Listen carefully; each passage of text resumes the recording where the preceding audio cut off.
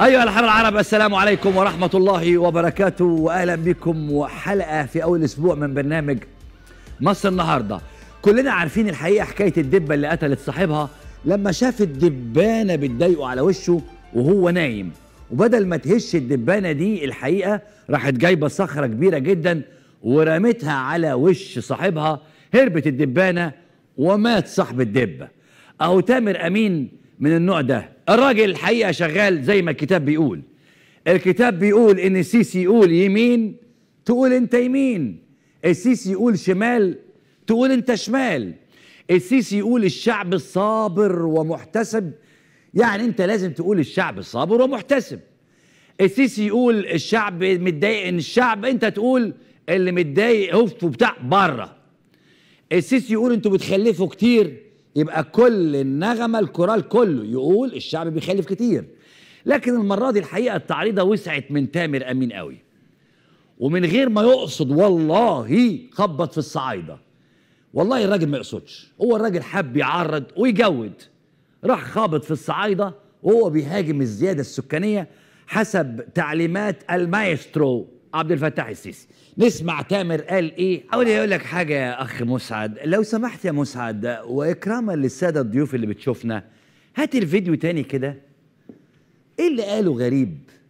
تامر أمين ابن أمين بسيوني الراجل الإذاعي الكبير.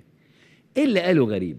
هات كده الفيديو كده يعني يعني كمل كمل كمل كمل كمل لحد ما أقول لك اقف كمل لحد ما افضل كمل كده سيبك من تامر امين بيقول إيه أنا عايزك تكمل تكمل تكمل تكمل لحد ما يوصل لكلمه الواد بيليا العب بقى الصوت. فين وقف هنا آه أنا اسف انت هنا مش تقول انك انت هنا أنا عايزك وانت بتسمع تامر امين تركز قوي في الشريط بتاع الاخبار اللي تحت ده أول ما بدأ يتكلم الكلام ده الواد بيليا تحت هتلاقي كده القناة دي النهار. كاتبة إيه بقى؟ السيسي العب كده العب. السيسي وقف. السيسي ارتفاع معدلات النمو السكاني في مصر تعوق الدولة العب. تعوق الدولة في مساعيها لتحسين الأجور. اللي بعده اللي بعده العب العب ما تخافش. السيسي معدلات النمو السكاني آه، آه، مش عارف إيه في غاية أمر في غاية الأهمية ولا بد للشعب أن يقتنع مش عارف إيه ويساعدنا فيها. اللي بعده العب كمل كمل. هتلاقي السيسي بيتكلم على الزيادة السكانية برضو مواجهة الزيادة السكانية تحتاج إلى بس وقف هنا. قال إيه تامر أمين؟ قال اللي بيقوله السيسي الزيادة السكانية وال... دي يا حضرات ده الكوبليه. ده المرجع الأساسي أو المرجع في الأغنية. اللي بيقوله تامر هو اللي قاله البابا توادرس هو اللي قاله شيخ الأزهر هو اللي قالته الأوقاف. هو اللي قالوه كل الجوء اللي ورا عبد الفتاح السيسي. لكن التعريضة بتاعت تامر الحقيقة نطت في وش تامر لأنه وسعها قوي. لأن المرة دي الحقيقة الغلط جاب زلط. والحقيقة الراجل في فنائه وإخلاصه للتعريض راح خابط شتيمة وهجوم يمس كرامة أهالينا في الصعيد وعرضهم وبناتهم.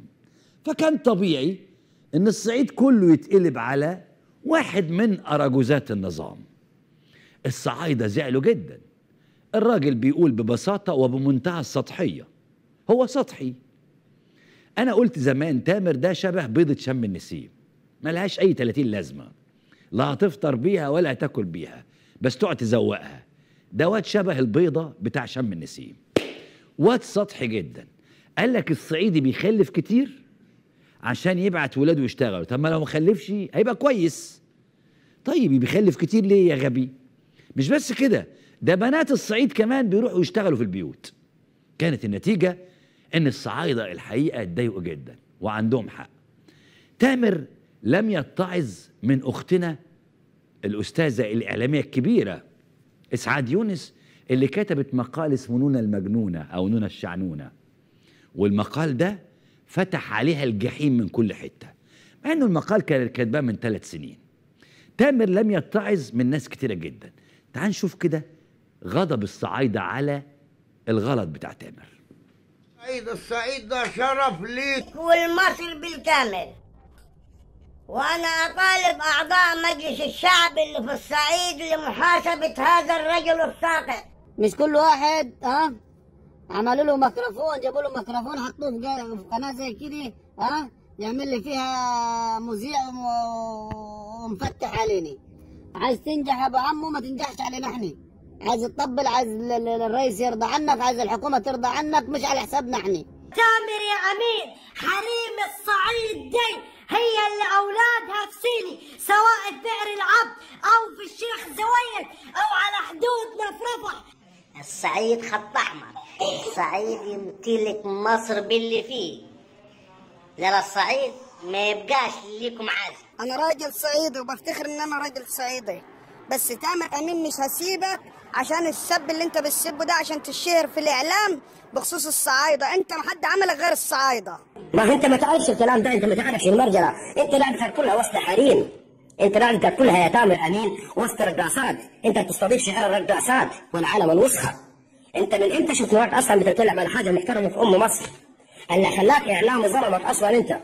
بنات إحنا يا تامر خدامات البنات العفيفات اللي قاعدات مستكتات بيطلع عن عرايس زي الفل متعلمات من بيت ابوهن الواحدة بفرح ما بيطلعش. ما بتتكشفش على حد غير الفرحه وإحنا ما قابلينش اعتذارك. تمام علشان قبلنا اعتذارات كثيرة.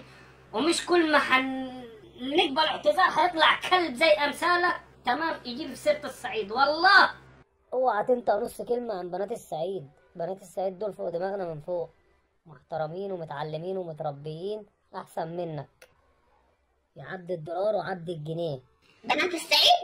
في كل الوزارات هتلاقي بنات صعيد. بنات الصعيد مهندسين. بنات الصعيد بيبنوا وبيعمروا بناتهم. لكن انت طبعا ما تعرفش عنها حاجة. كفايه عليك الشيخ زايد اللي أنت قاعد فيه وكفايه عليك العاصمه الإدارية. هو ده.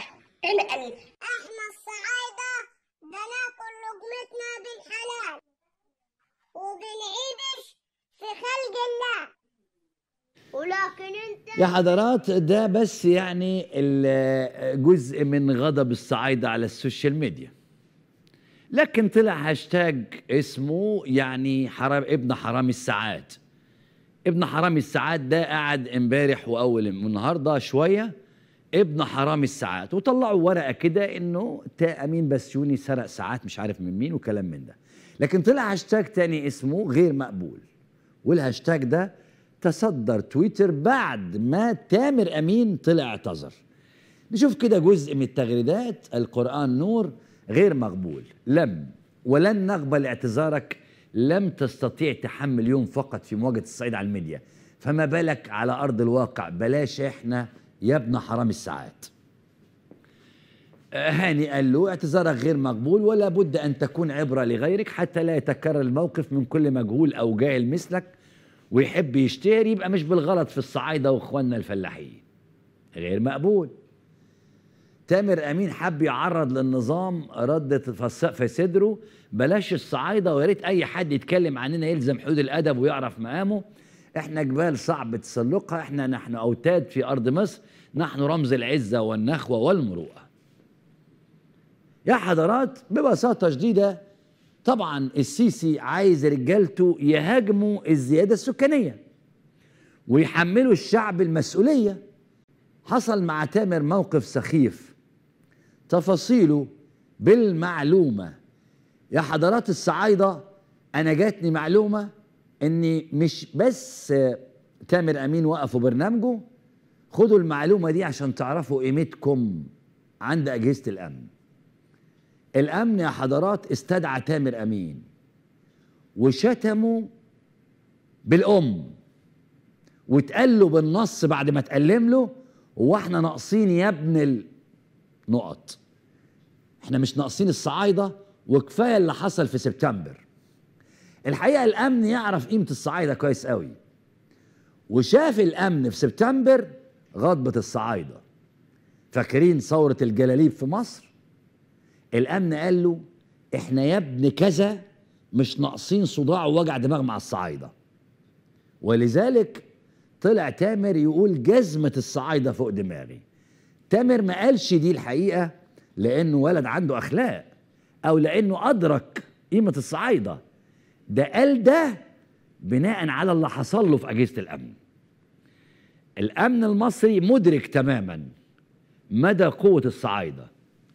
ومش ناسي ابدا ثورة الجلاليب في مصر تتصدر المشهد دي قناة الحرة. خرج أهل القرى وامتنعت المدن. المنيا فاكرين؟ الأقصر فاكرين؟ بني سويف فاكرين؟ بهدال المنيا فاكرين؟ طهطا سوهاج فاكرين؟ الأمن مش ناسي العلقة دي ولا ناسي الخروج بتاع المصريين في سبتمبر. الأقصر وقنا وسوهاج والمنيا وبني سويف وأسيوط والجيزه الأمن يا حضرات مش ناسي الفيديوهات دي. عشان كده طلع تامر أمين بعد ما اتألم له. وخد مني المعلومة دي لأن أنا واثق فيها. تامر أمين اتسحب على أجهزة الأمن واتألم له بمعنى الكلمة. فطلع يقول الكلام ده. والله ما أقصدش الإهانة ابدا. دي آخر حاجة تيجي على دماغي. وآخر حاجة في الدنيا ابقى حاببها ان حد صعيدي يبقى زعلان مني. فأنا بقول لكل صعيدي وصعيدية جزمتكم على راسي من فوق. وأنا ابنكم وأنا ابن ريف مصر ونسايبي أساسا من الصعيد مرات أخويا من الصعيد ومتشرف بيها ومتشرف بالنسب ده فأرجوكم ما تزعلوش مني وحتى لو كان قصدي خير بس لو واحد فيكم بس زعلان أنا بقول له حقك عليا وأنا آسف في اعتذار صريح وهذا الاعتذار سينشر في كل حتة لأن أنا دايما بتشرف باهلنا في الصعيد. أرجوكم ما تزعلوش مني وأنا أخوكم وأنتوا أهل الصفح وأهل العفو وأهل الكرم يعني. تحياتي لكم جميعا في صعيد مصر. المحترم والشريف. الكف كان جامد يا ابو عمو كان جامد قوي. مش بس كده. ده فورا محكمة جنح مدينة نصر حددت جلسة 20 مارس اللي جاي لمحاكمة تامر أمين في اتهامه بإهانة أهل الصعيد. لحظة بس. أحمد موسى طلع ركب الموجة وقال لابد من محاكمة تامر أمين. بس إحنا عايزين نعرف المشكلة فين يا ابو يعني محدش يضحك عليك. إحنا بس هنقول لك يا سيسي لو انت زعلان فعلا وصادق في زعلك من إن تامر أمين شتم الصعيد قول لي انت عملت إيه للصعيد؟ هو تامر أمين بس اللي شتم الصعيد؟ لا لا لا لا انسى القصة دي.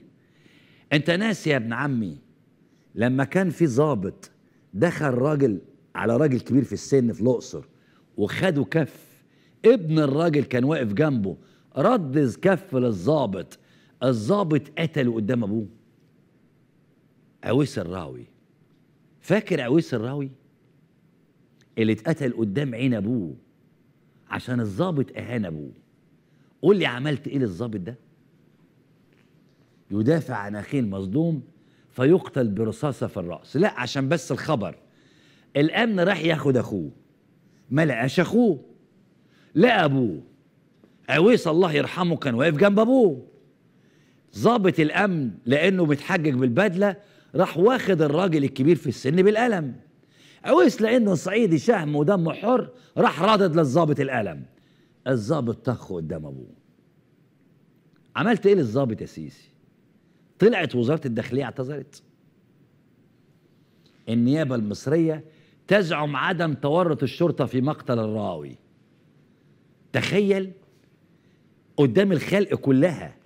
عويس الراوي اتقتل قدام أبوه وقدام ناس وطلعت النيابة تقول لا الشرطة ما قتلتش عويس الراوي. عملت إيه للظابط ده؟ شفنا اعتذار منك؟ شفنا من الداخلية اعتذار. أنت مش بتقول زعلان عشان الواد تامر غلط في الصعيد؟ طب قول لي أنت عملت إيه لقاتل عويس الراوي؟ بلاش يا سيدي قاتل عويس الراوي. بلاش. واللي قتل طلعت شبيب قبل منه. عملت له إيه؟ بلاش يا سيدي. عملت إيه للظابط أو للظباط اللي شتموا أهالينا في الجيزة؟ ما هو الصعيد من أول الجيزة لحد الشلالات. عملت إيه بقى للظباط اللي شتموا أهالينا في الجيزة؟ بألفاظ وسخة أكتر من 100 مرة. من كلام تامر أمين. فاكر الظابط اللي شتم بلد بحالها هل الداخلية اعتذرت عن الشتايم دي؟ مش انت بتقول انت والجهاز الإعلامي بتاعك ان أنتوا زعلانين عشان تامر أمين شتم الصعيد؟ طب أنتوا قولوا لي عملتوا إيه لكامل الوزير لما طلع عمل قرار عنصري بمنع أهالي الصعيد من دخول رمسيس؟ فاكر القرار ده؟ قرار اهو حرمان الصعيد من دخول محطة رمسيس تخفيف زحام أم تمييز عنصري. عملتوا إيه؟ أنت مش بتقول إنك زعلان عشان الواد تامر اللي شبه بيضة شم النسيم شتم الصعيد. طب قول لي أنت عملت إيه للفقر والبطالة والأمية في الصعيد؟ بنيت مستشفيات؟ ما حصلش. بنيت مدارس؟ بنيت مصانع؟ الأوضاع بقت فل ولا بقت أسوأ؟ أنا لو اتكلمت هتقول إنك أنت إخواني وإرهابي. طب خد الخبر ده امبارح الجمعة برلمانية. برلمانية يعني واحدة عضوة برلمان. امبارح الجمعة 19 فبراير ارتفاع نسبة الإدمان بقرى الصعيد بسبب إيه بقى؟ الفقر والبطالة. بسبب إيه يا حضرات؟ الفقر والبطالة. الصعيد يا حضرات مليان فقر بيعشش فيه الفقر. الصعيدي اللي بيورد لجيش مصر ولشرطة مصر قوامها الأساسي من جنود بيعاني من الفقر. الصعيدي اللي طلع علماء مصر زي رفاعة الطهطاوي وطه حسين وغيرهم والعقاد بيعاني من الفقر والبطالة. عملت لهم إيه؟ لا ده مش أط... مش بس بطالة ده بطالة وكوارث تانية. خد الخبر ده 27 يناير برضو 27 يناير في الشروق. الأربعاء أهو 27 يناير. مد... ده السنة دي. مدير حياة كريمة نسبة الفقر تتخطى 50% بقرى ريف الوجه القبلي. عملت إيه؟ طب نرجع شوية. يمكن افتقروا بس في يناير. لا ده في يناير 2020 الإحصاء بتقول الصعيد الأكثر فقرا. في يناير 20 يعني سنة. وسكانه 38% من إجمالي مصر. عملت لهم إيه؟ طب خد الخبر ده في 19 سنة 19 بص يا سيدي ثلاثة منها في الصعيد التعبئة والإحصاء يكشف أفقر خمس محافظات. أفقر خمس محافظات. عملت لهم إيه؟ ما هو أنت ما تبقاش زي الوز حنة بلا بز أنت على اطلع كده قول لي عملت إيه للصعايدة. ماذا قدمت للصعايدة؟ ما تعملش نفسك خدت الواد تامر قلمين على وشه. أنت عايز إزاي تغلط في الصعايدة؟ دول أحسن ناس. آه سيبك من البقين دول. أنت عملت للصعيد؟ يا حضرات أنا قلتها من خمس سنين. من يوم ما جه عبد الناصر بتاع بني مر في أسيوط وهناك خطة ممنهجة لإفقار الصعيد. وبالمناسبة ده مش كلامي ده كلام ناس كتاب يسريين في كتاب اسمه إفقار الفلاحين. والكتاب ده نزل في مصر من 15 سنة وأنا شخصيا قريته. في خطة ممنهجة لعسكر مصر لإفقار الصعيد. وقلت لكم من خمس سنين إيه الفكرة في إفقار الصعيد؟ أنا أقول لك إيه الفكرة؟ عشان ما تغلبش نفسك وتقعد تفكر. أي مظاهرة بتحصل في مصر بيقضى عليها بإيه؟ بالأمن. الأمن ده قوامه إيه؟ قوام الأمن إيه؟ الأمن المركزي. إيه بقى الأمن المركزي ده؟ هل بيجيب واحد خريج جامعة يودوه الأمن المركزي؟ لأ. بيجيب واحد معهوش شهادات خالص يودوه الأمن المركزي. لسببين. أول سبب إنه هيقعد ثلاث سنين في الخدمة مش سنة. تاني سبب إنه هينفذ التعليمات لإنه الراجل ما يعرفش حاجة أحمد سبع الليل. حد فاكر رائعة الأخ وحيد حامد وعاطف الطيب البريء؟ لا سيبك من البريء الهروب. حد فاكر الهروب؟ حد فاكر أحمد سبع الليل بتاع الهروب دول اعداء الوطن؟ الفيلم ده إنتاج 96 96 من 96 الأخ وحيد حامد رحمة الله عليه حط إيدينا على قصة كيف يتم إنشاء وتعامل الدولة مع الصعايدة. لازم الصعيدي يبقى جاهل لازم يبقاش عنده شهادة لأنه ده الأمن المركزي. الأمن المركزي اللي بيقضي بيه السيسي على أي تظاهرات. أديك شفت في سبتمبر.